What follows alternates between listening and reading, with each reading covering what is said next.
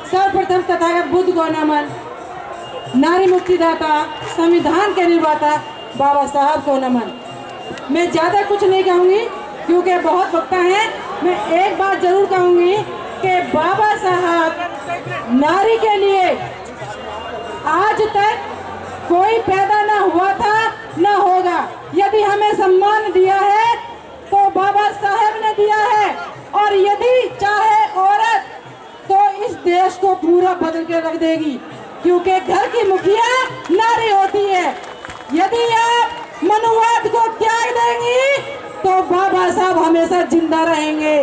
और यदि मनुवाद को रखेंगी तो बाबा साहब को मारने का काम आप स्त्री लोग करेंगे।